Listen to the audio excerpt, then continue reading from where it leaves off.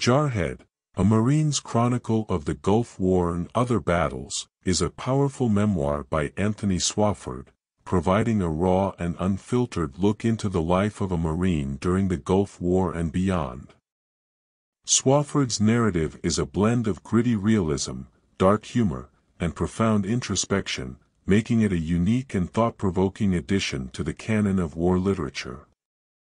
Swofford's memoir stands out for its candid portrayal of the Marine experience. He does not romanticize or glorify war but presents it as a grueling, dehumanizing, and often absurd ordeal. He details the monotonous routine of military life, describing the soul-numbing boredom that alternates with the adrenaline-pumping chaos of combat. This juxtaposition highlights the psychological toll that war takes on soldiers, as they oscillate between mind-numbing routine and life-threatening situations. The title, Jarhead, is a colloquial term for Marines, alluding to their distinctive high-end tight haircuts, which make their heads resemble jars.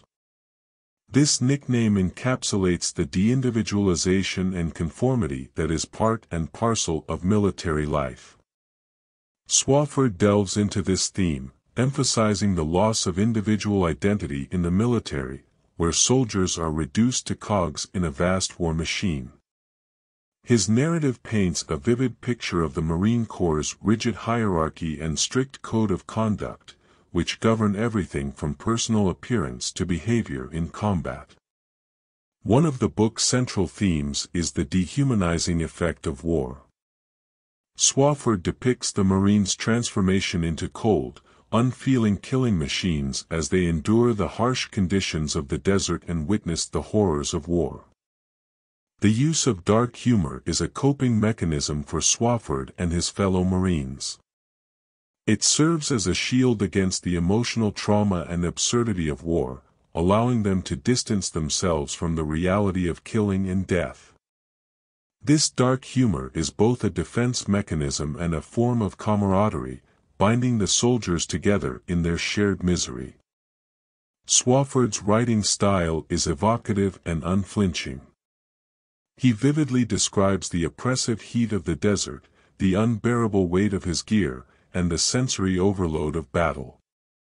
His prose captures the physical and emotional toll of war, immersing the reader in the Marine's experience. The language is often coarse and profane, reflecting the gritty reality of military life. This authenticity is one of the book's strengths, as it gives readers a genuine glimpse into the world of a Marine. Throughout the memoir, Swofford grapples with questions of identity and purpose. He contemplates the motivations that led him to join the Marines and questions the value of the Gulf War. His introspection is a significant aspect of the book, as it adds depth to his character and the narrative as a whole. He recognizes the contradictions within himself and the military, acknowledging the allure of violence and the desire for glory while simultaneously repulsed by the brutality of network error.